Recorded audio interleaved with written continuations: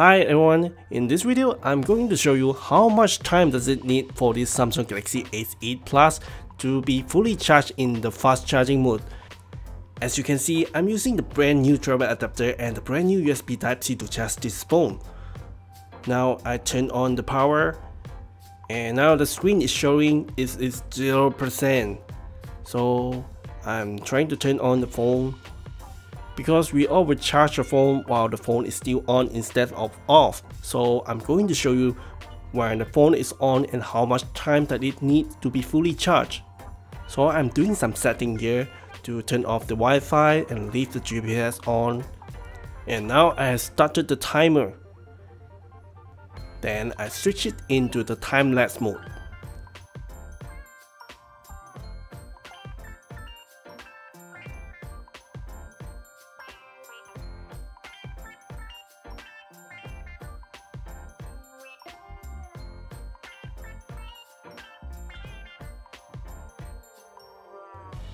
Well, it is 1 hour and 35 minutes now.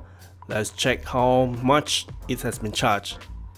As you can see on the always on display, it's showing it is 98% charged.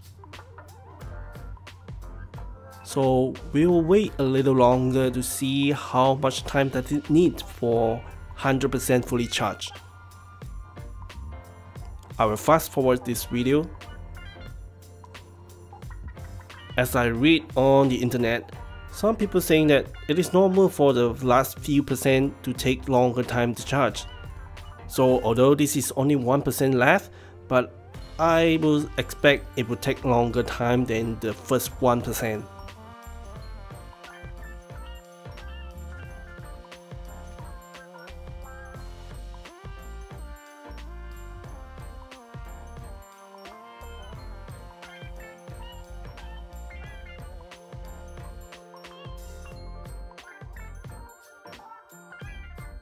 That's it, it is 100% fully charged now and the timing is 1 hour and 42 minutes. Well, for me, this is very fast because it takes less than 2 hours to fully charge this 3500 mAh battery. Although the phone has been 100% fully charged but we can still see the red LED here.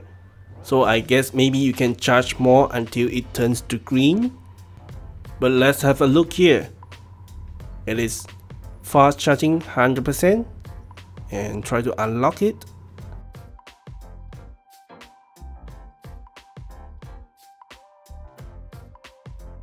And we can still see it is 100% here. So do you think I should charge the phone until the LED turn green or some other color?